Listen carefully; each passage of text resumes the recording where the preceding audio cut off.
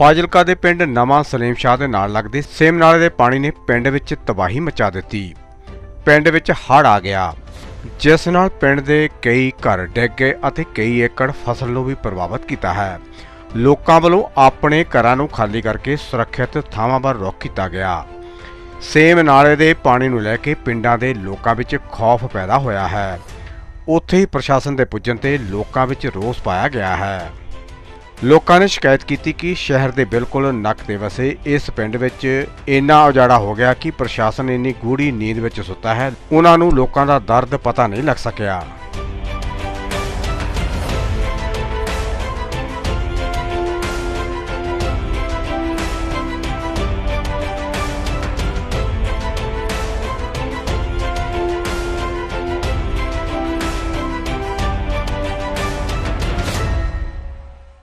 ਆਪਣਾ? ਮੇਰਾ ਨਾਮ ਸ਼ਬੇਗ ਸਿੰਘ ਬਲਾਕ ਸਮਿਤੀ member zone number 10 Sasta Kalan ਤੋਂ।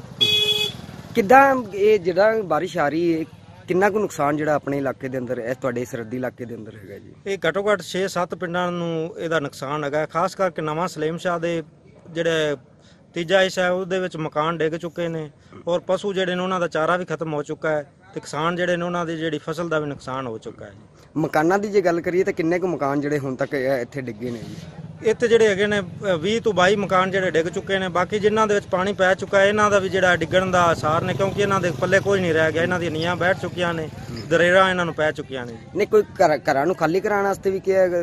ਕੋਈ ਨਹੀਂ ਪ੍ਰਸ਼ਾਸਨ ਵੱਲੋਂ ਕੋਈ ਵੀ ਅਧਿਕਾਰੀ ਨਹੀਂ ਆਇਆ ਨਾ ਹੀ ਉਹਨਾਂ ਨੇ ਕੋਈ ਜ਼ਿੰਮੇਵਾਰੀ ਲਈ ਨਾ ਹੀ ਕੋਈ ਸੰਭਾਲ ਕੀਤੀ ਜਿਵੇਂ ਇਹ ਪਾਣੀ ਦੇ ਅੱਗੋਂ ਮੋਗੀਆਂ ਨੂੰ ਕੱਢਿਆ ਜਾਂਦਾ ਜਿਹੜੀਆਂ ਜਿੱਥੋਂ ਪਾਣੀ ਦੀ ਕ੍ਰੋਸਿੰਗ ਘੱਟ ਹੋ ਰਹੀ ਹੈ ਤੇ ਸ਼ਾਇਦ ਇਧਰ ਪਾਣੀ ਨਾ ਆਉਂਦਾ ਕਿਉਂਕਿ ਪ੍ਰਸ਼ਾਸਨ ਨੇ ਕੋਈ ਇਧਰ ਇਹਨਾਂ ਲੋਕਾਂ ਦੀ ਸਾਰ ਨਹੀਂ ਲਈ ਇਹ ਤੋਂ ਆ ਕੇ। ਇਹ ਕਦੋਂ ਤੋਂ ਇਹ ਹਾਲਾਤ ਇਹਦੇ ਬਣੇ ਹੋਏ ਨੇ ਜੀ? ਇਹ ਕੱਲ 9 ਵਜੇ ਦਾ ਜਿਹੜਾ ਪਾਣੀ ਇੱਥੇ ਆਣਾ ਸ਼ੁਰੂ ਹੋਇਆ ਸੀ ਤੇ ਜਿਹੜਾ ਲਗਭਗ 1-2 ਵਜੇ ਜਿਹੜਾ ਪਾਣੀ ਦੋ ਤਿੰਨ ਵਾਰ ਪਹਿਲੇ ਟੁੱਟਾ ਜਿਵੇਂ ਸ਼ਮਸ਼ਾਨ ਘਾਟ ਕੋਲ ਬੰਨਿਆ ਗਿਆ ਸੀ ਉਸ ਤੋਂ ਬਾਅਦ ਜਿਹੜਾ ਖੇਤਾਂ ਦਾ ਪਾਣੀ ਖੇਤਾਂ ਦੇ ਵਿੱਚ ਬਰਸਾਤ ਦਾ ਪਾਣੀ ਜਾਂ ਉੱਪਰੋਂ ਇਹਦੇ ਸੇਮ ਨਾਲ ਦੇ ਵਿੱਚ ਹੋ ਕੇ ਉਹ ਪਿੰਡ ਦੇ ਵਿੱਚ ਨਵਾਂ ਸਲੀਮ ਸ਼ਾਹ ਦੇ ਔਰ ਜਿਹੜਾ ਹੁਣ ਬਕਾਇਦਾ ਹਸਤਾ ਕਲਾਂ ਤੋਂ ਜਿਹੜੀ ਨਹਿਰ ਆਂਦੀ ਹੈ ਗੰਜੂ ਹਸਤਾ ਔਰ ਗਾਗਣ ਕੇ ਮੌਜਮ ਤੱਕ ਉਹ ਖੇਤਾਂ ਦੇ ਵਿੱਚੋਂ ਆ ਕੇ ਤੇ ਕਾਫੀ ਲੋਕਾਂ ਦਾ ਨੁਕਸਾਨ ਕਰ ਰਿਹਾ ਇਹ ਪਾਣੀ ਕਿਹੜਾ ਸੇਮ ਨਾਲਾ ਕਿਹੜਾ ਹੈ ਜਿਹੜਾ ਇਹ ਲੋਕਾਂ ਨੂੰ ਪ੍ਰਭਾਵਿਤ ਕਰ ਰਿਹਾ ਹੈ? ਇਹ ਸੇਮ ਨਾਲਾ ਜਿਹੜਾ ਵਾਧੇ ਤੋਂ ਲਗਭਗ ਥੱਲੇ ਨੂੰ ਆਂਦਾ ਹੈ ਤੇ ਜਿਹੜਾ ਮੌਜਮ ਤੱਕ ਜਾਂਦਾ ਹੈ ਮੌਜਮ ਡਰੇਨ ਦੇ ਵਿੱਚ।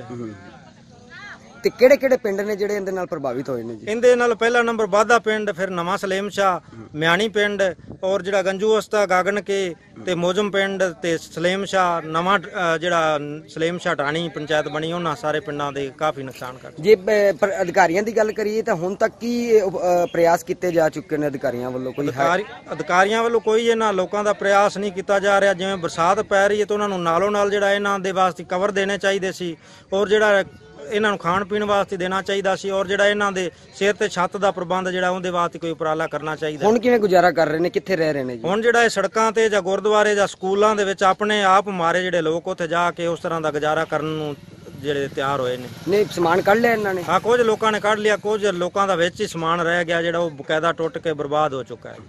ਹਾਲਾਤ ਬਹੁਤ ਮਾੜੇ ਨੇ ਅੰਦਰ ਪਾਣੀ ਪੈ ਗਏ ਕਮਰੇ ਡਿੱਗ ਪਏ। ਤੇ ਬਾਹਰ ਸਮਾਨ ਭਿੱਜੇ ਜਾਂਦੇ ਨੇ। ਗਰੀਬ ਗੁਰਬਾ ਭੁੱਖੇ ਪਾਣੇ ਪਏ ਆ ਰਾਤ ਦੇ। ਕੱਲ ਦਿਨ ਦੇ ਕਾ ਅੱਜ ਰਾਤ ਦੇ ਅੱਜ ਮੁੜ ਹੁਣ ਮੀਂਹ ਦਾ ਪ- ਮੌਸਮ ਹੈਗਾ ਸਾਰਾ ਬਹੁਤ ਔਖੇ ਬੜੇ ਤੰਗ ਹੈ। ਹੁਣ ਸਮਾਨ ਟਰਾਲੀਆਂ ਤੇ ਕੱਢ ਕੱਢ ਤੇ ਬਾਹਰ ਕੀਤੀ ਜਾਂਦੇ ਆ। ਤੇ ਬਹੁਤ ਬੜੀ ਮਜਬੂਰ ਹੈ ਸਾਰੇ ਕਮਰੇ ਡਿੱਗ ਪਏ ਲੋੜ ਗਏ। ਅਜੇ ਡਿੱਗੀ ਜਾਂਦੇ ਨੇ ਵਿੱਚ ਬੱਚੇ ਰਾਤੀ ਹੇਠ ਆਉਣ ਲੱਗੇ ਨੇ ਕਣ ਖਿੱਚ ਕੇ ਬਾਹਰ ਕੱਢਾ ਹੈ। ਰਾਤੀ ਮੀਂਹ ਬਾਰਿਸ਼ ਦੇ ਵਿੱਚ। ਬਹੁਤ ਮਾੜੀ ਹਾਲਾਤ ਹੈਗੀ ਗਰੀਬਾਂ ਦੀ। ਤੇ ਹੁਣ ਕੋਈ ਕਿਤੇ ਕੋਈ ਸੜਕਾਂ ਤੇ ਬੈਠਾ ਕੋਈ ਕਿਤੇ ਬੈਠਾ ਹੈ ਕੋਈ ਨੰਗੀ ਥਾਂ ਤੇ ਬੈਠਾ ਕੋਈ ਭੁੱਖਾ ਬੈਠਾ ਕੋਈ ਤਰਿਆਇਆ ਬੈਠਾ ਹੈ। ਸਾਰੇ ਕਮਰੇ ਡਿੱਗ ਤੇ ਲੋੜ ਹੋ ਗਏ ਨੇ। ਇਹਦੀ ਕੋਈ ਮੰਗ ਕੀਤੀ ਜਾਵੇ ਕਮਰੇ ਮਿਲ ਜਾਵਣ ਜਾਂ ਕੋਈ ਇਹਨਾਂ ਦਾ ਰਾਸ਼ਨ ਪਾਣੀ ਮਿਲ ਜਾਵੇ ਉਹ ਸਾਨੂੰ ਗਰੀਬਾਂ ਨੂੰ ਚਾਹੀਦਾ ਹੈ।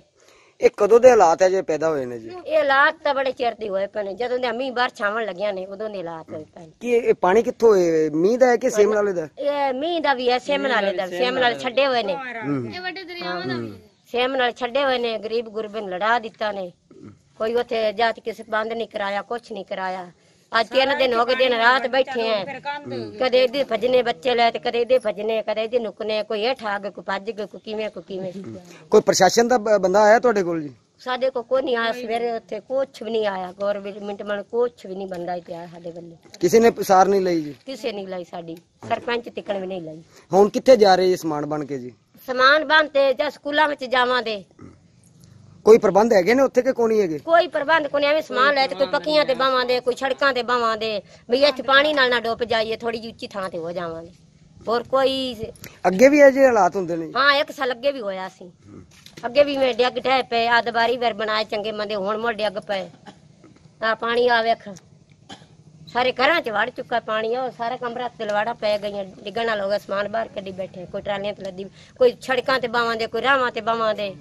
ਕੌਣ ਬਾਵਣ ਦਿੰਦਾ ਅੱਜ ਕੱਲ ਕੋਈ ਨਹੀਂ ਬੈਣ ਕਿੱਦਾਂ ਹਾਲਾਤ ਬਣੇ? ਕਦੋਂ ਦੇ ਹੈਗੇ ਨੇ ਇਸ ਤਰ੍ਹਾਂ ਦੇ ਇਹ? ਰਾਤ ਦੇ ਬਣੇ ਜੀ। ਅੱਛਾ ਜੀ। ਹਾਂਜੀ। ਕੀ ਨੁਕਸਾਨ ਕੀ ਹੋਇਆ ਜੀ? ਨੁਕਸਾਨ ਬਹੁਤ ਹੋ ਗਿਆ ਜੀ। ਸਾਰਾ ਕਮਰਾ ਸਾਡਾ ਡਿੱਗ ਗਿਆ ਕੱਚੇ ਇੱਕ ਰਾਤ ਨੂੰ ਡਿੱਗ ਗਿਆ ਹੁਣ ਸਵੇਰੇ ਡਿੱਗ ਗਿਆ। ਸਮਾਨ ਸਾਰਾ ਵਿੱਚ ਹੀ ਤਬਾਹ ਹੋ ਗਿਆ। ਬਹੁਤ ਮਾੜੇ ਹਾਲਾਤ ਬਣੇ ਨੂੰ। ਸਾਡੇ ਸਾਡੇ ਜਲਦੀ ਤੋਂ ਜਲਦੀ ਕੋਈ ਹੱਲ ਕੱਢੇ ਜਾਣ।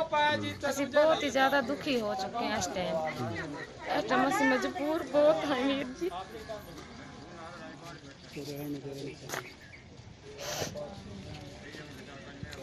ਨੁਕਸਾਨ ਦੀ ਗੱਲ ਕਰੀਏ ਤੇ ਕਿੰਨਾ ਕੁ ਵੱਡਾ ਨੁਕਸਾਨ ਹੈਗਾ ਜੀ ਤੁਹਾਡਾ ਜੀ? ਵੀਰ ਜੀ ਬਹੁਤ ਹੀ ਜ਼ਿਆਦਾ ਹੋ ਗਿਆ। ਕੋਈ ਨਾਜ ਪਾਣੀ ਵਿੱਚ ਸੀ ਉਹ ਵੀ ਗਿਆ ਚਲਾ। ਕੋਈ ਵਿੱਚੇ ਸਮਾਨ ਸੀ ਆਪਾਂ ਕਿਵੇਂ ਨਿੱਕਾ ਨਿੱਕਾ ਸਮਾਨ ਇਕੱਠਾ ਕਰੀਦਾ। ਆਪਦੇ ਅਸੀਂ ਬੱਚਿਆਂ ਨੂੰ ਲਾ ਲਾ ਕੇ ਪੜਾਈਆਂ ਛਡਾ ਕੇ ਕੰਮ ਲਾਇਆ ਹੋਇਆ ਸੀ। ਉਹਨਾਂ ਦੀ ਕਮਾਈ ਦਾ ਪੈਸਾ ਜੋ ਵੀ ਹੈ ਸਾਡਾ ਕੁਝ ਨਹੀਂ ਬਚਿਆ ਵੀਰ ਜੀ। ਅਸੀਂ ਬਿਲਕੁਲ ਇਸ ਟਾਈਮ ਬਿਲਕੁਲ ਸੱਜੀ ਨੰਗੀ ਸਿਰ ਤੇ ਆ ਕੇ ਬੈਠ ਗਏ ਹਾਂ। ਇਹ ਕਿੰਨੇ ਦਿਨ ਹੋ ਗਏ ਜੀ ਇਸ ਤਰ੍ਹਾਂ ਦੇ ਹਾਲਾਤ ਨੇ ਤੁਹਾਡੇ ਪਿੰਡ ਦੇ ਅੰਦਰ? ਜੀ ਇਹ ਤਾਂ ਸਾਡੇ ਤਾਂ ਰਾਤ ਦੇ ਹੀ ਹੋਣ ਲੱਗੇ ਨੇ ਜ਼ਿਆਦਾ। ਤੇ ਸਾਰੇ ਪਿੰਡ 'ਚ ਹੀ ਪਾਣੀ ਹੈ ਜੀ ਹੁਣ? ਹਾਂਜੀ ਸਾਰੇ ਪਿੰਡ 'ਚ ਹੀ ਪਾਣੀ ਕਿੰਨੇ ਕੁ ਮਕਾਨ ਡਿੱਗੇ ਨੇ ਜੀ? ਇੱਥੇ ਮਕਾਨ ਸਾਡੇ ਵੀ ਬਾਈ ਡਿੱਗ ਪਏ ਨੇ। ਹਾਂਜੀ। ਖੇਤਾਂ 'ਚ ਵੀ ਨੁਕਸਾਨ ਹੈ ਜੀ? ਹਾਂ ਖੇਤਾਂ ਵਿੱਚ ਵੀ ਨੁਕਸਾਨ ਹੈ। ਫਸਲਾਂ ਵਿੱਚ ਵੀ ਬਹੁਤ ਨੁਕਸਾਨ ਹੋਇਆ ਪਿਆ ਜੀ। ਤੇ ਹੁਣ ਸੁਰੱਖਿਅਤ ਥਾਂ ਤੇ ਕਿਸੇ ਨੇ ਕੱਢਿਆ ਤੁਹਾਨੂੰ ਕਿ ਆਪ ਨਿਕਲੇ ਜੀ ਜੀ? ਹਾਂਜੀ ਕਿਸੇ ਨੇ ਕੱਢਿਆ ਹੈ। ਅਜੇ ਕਿਸੇ ਕੋਈ ਆਇਆ ਹੀ ਨਹੀਂ। ਜਿਹੜੇ ਸਾਡੇ ਪਿੰਡ ਵਾਲੇ ਨੇ ਆਏ ਨੇ ਜਿਹੜੇ ਸਾਡੇ ਬਾਹਰ ਵਾਲੇ ਸੱਜਣ ਨੇ ਇਸ ਟਾਈਮ ਸਾਡੇ। ਸਾਡੇ ਪਿੰਡ ਵਾਲਾ ਕੋਈ ਨਹੀਂ ਆਇਆ। ਪ੍ਰਸ਼ਾਸਨ ਦਾ ਕੋਈ ਬੰਦਾ ਆਇਆ ਤੁਹਾਡੇ ਕੋਲ? ਨਹੀਂ ਆਇਆ ਜੀ। ਕੋਈ ਸਰਕਾਰੀ ਮਦਦ ਨਹੀਂ ਆਈ? ਨਹੀਂ ਆਇਆ ਜੀ। ਹੁਣ ਕਿੱਥੇ ਬੈਠੇ ਜੀ ਤੁਸੀਂ? ਅਸੀਂ ਚਰਚ ਵਿੱਚ ਬੈਠੇ ਜੀ। ਸਮਾਨ ਇਹ ਫਿਰ ਲੋਕਾਂ ਦਾ ਇਹ? ਨਹੀਂ ਸਮਾਨ ਆਪਣਾ ਹੀ ਹੈ ਜੀ। ਤੇ ਰੋਟੀ ਪਾਣੀ ਦਾ ਮਿਲ ਰਿਹਾ ਕਿ? ਰੋਟੀ ਪਾਣੀ ਆਈ ਸੀ ਹਾਂਜੀ। ਪਿੰਡ ਵਾਲਿਆਂ ਤੋਂ ਇਹ ਹੈ? ਨਹੀਂ ਚੇਅਰਮੈਨ ਚੇਅਰਮੈਨ ਨੇ ਸਾਡੇ ਵਾਸਤੇ ਗੰਜੂ ਵਾਸਤੇ ਤਾਂ ਚੇਅਰਮੈਨ ਨੇ ਸਾਡੇ ਵਾਸਤੇ ਰੋਟੀ ਪਾਣੀ ਦਾ ਚਾਹ ਪਾਣੀ ਦਾ ਪ੍ਰਬੰਧ ਕੀਤਾ ਜੀ। ਪ੍ਰਸ਼ਾਸਨ ਵੱਲੋਂ ਕੋਈ ਮਦਦ ਨਹੀਂ? ਹਾਂ ਕੋਈ ਨਹੀਂ ਆਈ ਜੀ ਸਾਡੇ ਇਹ ਕਿਸ ਤਰ੍ਹਾਂ ਦੇ ਹਾਲਾਤ ਬਣੇ ਖੜੇ ਨੇ ਜੀ ਹੁਣ? ਇਹ ਸਰ ਜੀ ਮੰਨ ਲਓ ਪਾਣੀ ਕੁਛ ਤਾਂ ਆ ਗਿਆ ਨਹਿਰ ਨਹਿਰ ਛੱਡਤੀ ਇੱਧਰ। ਹੂੰ। ਤੇ ਕੁਛ ਬਰਸਾਤੀ ਪਾਣੀ ਆ ਗਿਆ। ਠੀਕ। ਤੇ ਇਹਦੇ ਨਾਲ ਸਾਡਾ ਤਾਂ ਪਸ਼ੂਆਂ ਦਾ ਵੀ ਤੇ ਬੁਰਾ ਹਾਲ ਆ। ਵੇਖ ਲਓ ਤੁਹਾਡੇ ਸਾਹਮਣੇ ਹੀ ਅਸੀਂ ਮੰਨ ਲਓ ਕੁ- ਸਮਾਨ ਸਮੂਨ ਲੈ ਕੇ ਚੱਲੇ ਆ ਹੂੰ। ਤੇ ਬਹੁਤ ਬੁਰਾ ਹਾਲ ਹੈ। ਨੁਕਸਾਨ ਵੀ ਹੋਇਆ ਕੋਈ ਪਿੰਡ? ਨੁਕਸਾਨ ਬਿਲਕੁਲ ਕ- ਮਕਾਨ ਡਿੱਗ ਪਿਆ ਬਹੁਤ ਜ਼ਿਆਦਾ ਨੁਕਸਾਨ ਹੋ ਚੁੱਕਿਆ ਹੈ। ਜਦੋਂ ਮਕਾਨ ਹੀ ਡਿੱਗ ਪਿਆ ਗਰੀਬ ਬੰਦੇ ਤਾਂ ਫਿਰ ਪਿੱਛੇ ਰਹਿ ਕੀ ਗਿਆ ਕਿੰਨੇ ਦਿਨਾਂ ਦੇ ਹਾਲਾਤ ਇਦਾਂ ਦੇ ਬਣੇ ਹੋਏ ਨੇ ਜੀ ਆ ਤੀਜਾ ਦਿਨ ਹੋ ਗਿਆ ਜਿਸ ਦਿਨ ਦੀ ਬਰਸਾਤ ਸ਼ੁਰੂ ਹੋਈ ਹੈ ਉਸੇ ਦਿਨ ਹੀ ਕੰਮ ਸ਼ੁਰੂ ਹੋ ਗਏ ਉਦੋਂ ਦਾ ਹੀ ਸੇਮ ਨਾਲੀ ਟੁੱਟੀ ਜੀ ਹਨੇ ਸੇਮ ਨਾਲ ਕੱਲ ਰਾਤ ਨੂੰ ਟੁੱਟੀ ਸੀ ਅੱਛਾ ਜੀ ਤੇ ਅੱਜ ਹੁਣ ਸਾਰਿਆਂ ਨੂੰ ਉਹਨਾਂ ਬ- ਸਰਪੰਚਾਂ ਨੇ ਕਹਿ ਦਿੱਤਾ ਵੀ ਆਪੋ ਆਪਣਾ ਸਮਾਨ ਕੱਢ ਲਓ ਕੋਈ ਪਤਾ ਨਹੀਂ ਇੱਧਰ ਵੀ ਪਾਣੀ ਆ ਸਕਦਾ ਹੈ। ਠੀਕ ਹੈ। ਹੁਣ ਕਿੱਥੇ ਚੱਲੇ ਜੀ ਲੈ ਕੇ ਜੀ? ਹੁਣ ਅਸੀਂ ਚੱਲੇ ਕਮਾਲ ਵਾਲੀ ਸੰਜਰਾਣਾ ਪਿੰਡ। ਇੱਥੇ ਵਿਚਾਲੇ ਆ ਢਾਣੀ ਕੋਈ ਸਰਕਾਰ ਵੱਲੋਂ ਕੋਈ ਮਦਦ ਆਈ ਹੈ? ਕੋਈ ਜਾਂ ਪ੍ਰਸ਼ਾਸਨ ਦੇ ਅਧਿਕਾਰੀ ਕੋਈ ਪਹੁੰਚਿਆ? ਨਾ ਜੀ ਕੋਈ ਨਹੀਂ ਸਾਡੇ ਕੋਲ। ਕੋਈ ਵੀ ਨਹੀਂ ਪਹੁੰਚਿਆ? ਅਸੀਂ ਤਾਂ ਆਪਦੇ ਮੰਨ ਲਓ ਸਰਪੰਚ ਦੇ ਕਹਿ ਤੇ ਚੱਲੇ ਆ ਵੀ ਉਹਨੇ ਕਿਹਾ ਉਹਦਾ ਸਮਾਨ ਕੱਢ ਲਓ ਬਾਹਰ। ਕੀ ਪਤਾ ਲੱਗਦਾ ਹੈ ਟੁੱਟ ਵੀ ਸਕਦੀ ਹੈ। ਤੇ ਬਾਕੀ ਕੰਮ ਤਾਂ ਸਫ਼ਾਈ ਹੋਇਆ ਪਿਆ ਸੌਦਾ ਤਾਂ ਸਾਫ਼ ਹੀ ਹੈ। ਘਿਰੇ ਪਏ ਜੇ? ਹਾਂਜੀ। ਚਾਰ ਚਾਰ ਚਫੇਰ ਪਾਣੀ ਖੜਾ ਹੈ। ਹੁਣ ਸਾਨੂੰ ਤਾਂ ਕਿਧਰੇ ਨਿਕਲਣਾ ਹੀ ਪੈਣਾ। ਜੇ ਫਸਲਾਂ ਦੀ ਗੱਲ ਕਰੀਏ ਤਾਂ ਕਿੰਨੀਆਂ ਕੁ ਫਸਲਾਂ ਇਹ ਪਾਣੀ ਨਾਲ ਪ੍ਰਭਾਵਿਤ ਹੋਈਆਂ? ਫਸਲਾਂ ਤਾਂ ਸਰ ਜੀ ਇੱਥੇ ਬਹੁਤ ਜ਼ਿਆਦਾ ਨੁਕਸਾਨ ਹੋ ਚੱਲਿਆ। ਫਸਲਾਂ ਦਾ ਤਾਂ ਅੰਤ ਹੀ ਕੋਈ ਨਹੀਂ। ਇਹ ਨਾਰਾਂ ਟੁੱਟੀਆਂ ਨੇ ਜੀ ਦੋ। ਹੂੰ। ਟੁੱਟ ਕੇ ਤੇ ਉਹ ਪਾਣੀ ਇੱਧਰ ਆ ਗਿਆ ਜੀ। ਹੂੰ। ਆ ਕੇ ਤੇ ਲੋਹਣਾ ਕਰ ਗਿਆ ਜੀ। ਮਕਾਨ ਡਿੱਗ ਪਿਆ ਜੀ। ਮੇਰਾ ਵੀ ਡਿੱਗ ਪਿਆ ਹੈ। ਹੋਰ ਵੀ ਦਾ ਵੀ ਹੋ ਰਹੇ ਨੇ ਉਹ ਵੀ ਨਾਲ ਟੁੱਟੇ ਪਏ ਨੇ। ਤੇ ਛੱਤਾਂ ਡਿੱਗ ਪਈਆਂ ਜੀ। ਗਰੀਬ ਬੰਦੇ ਐ। ਕੋਈ ਪ੍ਰਸ਼ਾਸਨ ਪ੍ਰਸ਼ਾਸਨ। ਪ੍ਰਸ਼ਾਸਨ ਦਾ ਬੰਦਾ ਨਹੀਂ ਆਇਆ ਕੋਈ? ਹਾਂਜੀ। ਕੋਈ ਨਹੀਂ ਆਇਆ ਜੀ। ਤੁਹਾਡਾ ਨੁਕਸਾਨ ਕੀ ਹੋਇਆ ਜੀ? ਸਾਡਾ ਨੁਕਸਾਨ ਛੱਤ ਡਿੱਗ ਪਈ ਹੈ ਜੀ ਸਾਰਾ ਕੋਠਾ ਢੇੜ ਹੋ ਗਿਆ ਜੀ। ਕੋਈ ਸਮਾਨ ਵੀ ਪਿਆ ਸੀ ਵਿੱਚ? ਸਮਾਨ ਵਿੱਚ ਬਾਹਰ ਕੱਢ ਲਿਆ ਜੀ। ਇਹ ਕਦੋਂ ਦੇ ਹਾਲਾਤ। ਕਦੋਂ ਦੇ ਹਾਲਾਤ ਬਣੇ ਹੋਏ ਨੇ ਜੀ? ਇਹ ਰਾਤ ਰਾਤ ਦੀ ਬਣਾਇਆ ਜੀ। ਅਚਾਨਕ ਆਇਆ ਪਾਣੀ? ਹਾਂਜੀ ਅਚਾਨਕ ਆਇਆ ਰਾਤ 10 ਵਜੇ। ਕਿੰਨੇ ਕੁ ਪਿੰਡ ਘਿਰ ਗਿਆ ਘਿਰ ਗਏ ਨੇ? ਕਿੰਨੇ ਕੁ ਇੱਥੇ ਹੋ ਗਏ 20 ਗਟ 20 ਕੋਠੇ ਗਰ ਗਏ ਨੇ ਜੀ। ਵੀ ਬਾਈ ਕਿਵੇਂ ਵੀ ਬਾਈ ਚਲੋ ਲੈ, ਤੇ ਆਪਣੇ ਅਹ, ਖੇਤਾਂ 'ਚ ਕਿੰਨਾ ਕੁ ਪਾਣੀ ਹੈ ਜੀ? ਖੇਤਾਂ ਵਿੱਚ ਹੋ ਗਿਆ ਜੀ 12 12 ਫੁੱਟ। ਕਿੰਨੇ ਏਕੜ ਫਸਲ ਪ੍ਰਭਾਵਿਤ ਹੋਈ ਹੈ? ਫਸਲ ਵੀ ਵਾਹ ਵਾਹ ਵਾਹ ਖਰਾਬ ਹੋ ਗਈ ਹੈ ਜੀ। ਕਿੰਨੀ ਹੈ? ਹੈਗੀ ਹੈ ਜੀ ਕੋਈ 50 ਕਿੱਲਾ 60 ਕਿੱਲਾ ਰਹੇ ਜੀ ਕਿੱਥੇ ਲੈ ਜਾ ਰਹੇ ਜੀ? ਇਹ ਸਮਾਨ ਜੀ ਐਵੇਂ ਘਰ ਜੀ ਖੜਾ ਜੀ ਇੱਥੇ ਕੋਈ ਆਸੇ ਪਾਸੇ ਸੜਕਾਂ ਤੇ ਰੱਖ ਰਹੇ ਆ ਹੂੰ ਕੀ ਹੋਇਆ ਕੀ ਹੈ ਜੀ? ਪਾਣੀ ਆ ਗਿਆ ਜੀ ਸੇਮ ਨਾਲੇ ਦਾ। ਅੱਛਾ ਕਿੰਨਾ ਕੁ ਨੁਕਸਾਨ ਹੈ ਜੀ? ਨੁਕਸਾਨ ਇੱਥੇ 50 ਮਕਾਨ ਡਿੱਗ ਚੁੱਕਿਆ ਜੀ। ਅੱਛਾ ਜੀ ਤੇ- ਤੇ ਕਿੰਨੇ ਏਕੜ ਜ਼ਮੀਨ ਜਿਹੜੀ ਹੈ ਪਾਣੀ ਨੇ ਚ ਖਰਾਬ? ਹੋਈ ਇੱਥੇ ਘੱਟੋ ਘੱਟ 3-400 ਕਿੱਲਾ ਜੀ। ਅੱਛਾ ਇਹ ਕਿਹੜਾ ਪਿੰਡ ਹੈ ਜੀ? ਇਹ ਨਵਾਂ ਸਲੇਮ ਸ਼ਾਹ। ਤੇ ਹੋਰ ਕਿਸ ਤਰ੍ਹਾਂ ਦੇ ਹਾਲਾਤ ਨੇ ਪਿੰਡ ਦੇ ਹਾਲਾਤ ਅੰਦਰ? ਜੀ ਸੇਮਲ ਟੁੱਟ ਗਿਆ ਇੱਥੇ। ਇਹ 20 ਫੁੱਟ ਥੱਲੇ ਪਿੰਡ ਹੈਗਾ ਜੀ 20 ਫੁੱਟ। ਹੈ। ਜੇ ਟੁੱਟ ਗਿਆ ਤੇ ਇੱਕ ਨਹੀਂ ਘਰ ਰਹਿਣਾ ਕੋਈ ਮਤਲਬ ਵੀ ਡੰਗਰ ਨਹੀਂ ਰਹਿਣਾ ਨਾ ਕੋਈ ਮਤਲਬ ਸਮਾਨ ਰਹਿਣਾ। ਨਹੀਂ ਹੁਣ ਪਿੰਡ ਖਾਲੀ ਕਰਨ ਵਾਸਤੇ ਕਹਿਤਾ ਪਿੰਡ ਜੀ ਖਾਲੀ ਆ ਕੀਤੀ ਜਾਂਦੇ ਨੇ ਬਸ ਸੜਕਾਂ ਸਮਾਨ ਰੱਖੀ ਜਾਂਦੇ ਕਿ ਨੇ। ਪ੍ਰਬੰਧ ਨਹੀਂ ਹੈਗਾ ਜੀ ਉੱਤੇ ਕਿੱਥੇ ਸਮਾਨ ਰੱਖਾ ਜਾਵੇ। ਇਹ ਕਦੋਂ ਦਾ ਟੁੱਟਿਆ ਜੀ? ਇਹ ਕੱਲ ਦਾ ਜੀ। ਤੇ ਪ੍ਰਸ਼ਾਸਨ ਦਾ ਕੋਈ ਅਧਿਕਾਰੀ? ਨਾ ਨਾ ਕੋਈ ਨਹੀਂ ਆਇਆ ਜੀ। ਹਜੇ ਤੱਕ ਕੋਈ ਵੀ ਨਹੀਂ ਪਹੁੰਚਿਆ ਹੈਗਾ। ਹਾਂਜੀ ਹਾਂਜੀ ਕੋਈ ਨਹੀਂ ਆਇਆ। ਕਿੰਨੀ ਥਾਂ ਤੋਂ ਟੁੱਟਿਆ ਜੀ ਇਹ? ਇਹ ਆਪਣੇ ਇੱਕ ਥਾਂ ਟੁੱਟਿਆ ਪਰਲੇ ਪਾਸੇ ਜੇ ਢਾਣੀ ਹੈਗੀ ਹੈ 50 ਘਰ ਇਹ ਡਿੱਗ ਪਿਆ ਹੈਗਾ। ਤੇ ਜਿਹੜਾ ਮਤਲਬ ਇੱਧਰ ਹੈਗਾ ਇੱਧਰ ਟੁੱਟਿਆ ਗੱਲ ਬੰਨ ਲਿਆ ਸੀ ਇੱਧਰ ਪਿੰਡ ਬਣੇ ਜਿਹਦੇ ਜ਼ਿਆਦਾ ਘਰ ਹੈਗੇ ਨੇ। ਜੇ ਇੱਧਰ ਟੁੱਟ ਗਿਆ ਤੇ ਫਿਰ 400 ਘਰ ਦੇ ਵਿੱਚ ਇੱਕ ਘਰ ਨਹੀਂ ਬਚਣਾ ਜੀ ਸਾਰਾ ਖਤਮ ਹੋ ਜਾਏਗਾ ਘਰ। ਘਿਰਿਆ ਹੋਇਆ ਹੈ ਮਤਲਬ ਕਿ ਪਾਣੀ ਨਾਲ? ਹਾਂਜੀ ਹਾਂਜੀ ਪਰ ਜੀ 2-3 ਇੰਚ ਪਾਣੀ ਹੋਰ ਚੜ ਗਿਆ ਤੇ ਗਿਆ ਪਾਣੀ ਹੁਣੇ। ਸੁੱਖਾ ਮੇਰਾ ਨਾਮ ਹੈ ਜੀ। ਅੱਛਾ ਕਿਸ ਤਰ੍ਹਾਂ ਦੇ ਹਾਲਾਤ ਨੇ ਜੀ ਪਿੰਡ ਬਹੁਤ ਦੇ? ਮਾੜੇ ਹਾਲਾਤ ਹੈ ਜੀ ਪਿੰਡ ਦੇ। ਇਹ ਬਣੇ ਕਿਵੇਂ ਜੀ? ਕਿ ਕਿਸ ਤਰ੍ਹਾਂ ਦੇ ਹਾਲਾਤ ਇਦਾਂ? ਇਹ ਸੇਮ ਨਾਲੇ 'ਚ ਪਾਣੀ ਆਇਆ ਸੀ ਜੀ। ਹਾਂ। ਉਹ ਪਾਣੀ ਜ਼ਿਆਦਾ ਹੋ ਗਿਆ। ਤੇ ਹੱਲ ਕੋਈ ਹੋਇਆ ਨਹੀਂ ਉਹ ਟੁੱਟ ਗਿਆ ਸੇਮ ਨਾਲਾ ਤੇ। ਕਿੰਨਾ ਕੁ ਨੁਕਸਾਨ ਹੈ ਜੀ ਆਪਣੇ ਬਹੁਤ ਪਿੰਡ ਜ਼ਿਆਦਾ ਨੁਕਸਾਨ ਹੈ ਜੀ। ਕਿੰਨੇ ਕੁ ਘਰ ਡਿੱਗੇ ਵੀ ਨੇ ਕੁਝ? ਬਹੁਤ ਜ਼ਿਆਦਾ। ਅੱਛਾ ਜੀ। ਤੇ ਹੁਣ ਸਮਾਨ ਕਿੱਥੇ ਲੈ ਕੇ ਜਾ ਰਹੇ ਜੀ? ਸਮਾਨ ਬਾਹਰ ਰੋਡ ਤੇ ਹੀ ਪਿਆ ਜੇ ਤਾਂ ਜੀ। ਅੱਛਾ। ਕੋਈ ਪ੍ਰਸ਼ਾਸਨ ਅਧਿਕਾਰੀ ਕੋਈ ਆਇਆਗਾ ਅਜੇ ਤੱਕ ਸਾਡੇ ਕੋਲ ਤਾਂ ਕੋਈ ਨਹੀਂ ਆਇਆ ਜੀ। ਅੱਛਾ। ਕੱਲ ਰਾਤ ਦੇ ਲੱਗਿਆ ਸੀ ਅੱਛਾ। ਪਿੰਡ ਵਾਲੇ ਆਪ ਹੀ ਲੱਗੇ ਹੋਏ ਨੇ? ਆਪ ਹੀ ਖੁਦ ਆਪ ਲੱਗੇ ਆ। ਆਪਾਂ ਉਹਦੀ ਸਮਾਨ ਦੀ ਜ਼ਿੰਮੇਵਾਰੀ ਖੁਦ ਹੂੰ। ਕਰੀ ਜਾ ਰਹੇ। ਕਿੰਨੀਆਂ ਕੁ ਮੁਸ਼ਕਲਾਂ ਵੇਖਣੀਆਂ ਪੈ ਰਹੀਆਂ ਨੇ ਬਹੁਤ? ਜ਼ਿਆਦਾ। ਕਿਧਰੋਂ ਮਦਦ ਨਹੀਂ ਮਿਲ ਰਹੀ ਹਾਂ ਜੀ ਨਾ ਕੋਈ ਮਦਦ ਨਹੀਂ। ਹੂੰ। ਪਸ਼ੂ ਪਾਣੀ 'ਚ ਖੜੇ ਆ ਸਾਰਾ ਸਮਾਨ ਪਾਣੀ 'ਚੋਂ ਕੱਢਿਆ ਖਿੱਚਿਆ ਆ। ਇਹ ਰਾਤ ਹੀ ਅਚਾਨਕ ਵਧਿਆ ਪਾਣੀ ਇਹ ਰਾਤ ਕੱਲ ਸ਼ਾਮ ਨੂੰ ਹੋ ਗਿਆ ਸੀ। ਭੱਜੇ ਫਿਰੇ ਆ ਵੀ ਸਹੀ ਕਰਦੇ ਆ ਨੂੰ ਸੰਭਾਲਾਂਗੇ ਪਰ ਨਹੀਂ ਸੰਭਲਿਆ। ਤੇ ਫਿਰ ਪਾਣੀ ਘਰਾਂ 'ਚ ਵੜ ਗਏ? ਘਰਾਂ 'ਚ ਪਾਣੀ ਵੜ ਗਿਆ ਘਰ ਡਿੱਗ ਪਏ। ਕਿਹੜਾ ਪਿੰਡ ਹੈ ਜੀ? ਕਿਹੜੇ ਕਿਹੜੇ ਨਵਾਂ ਸਲੇਮ ਸ਼ਾਹ ਜੀ। ਕਿੰਨੇ ਕੁ ਘਰ ਹੋਣਗੇ ਜਿਨ੍ਹਾਂ 'ਚ ਪਾਣੀ ਆ ਗਿਆ ਜੀ ਸਰ? ਪਾਣੀ ਘਰ ਹੈਗਾ ਜੀ ਇੱਥੇ 200 ਤੇ ਬਾਲ ਬੱਚਾ ਕੱਢ ਲਿਆ ਜੀ ਬਾਹਰ? ਬਾਲ ਬੱਚਾ ਕੱਢ ਲਿਆ। ਹੂੰ। ਮਕਾਨ ਬਹੁਤ ਗਿਰੇ ਆ।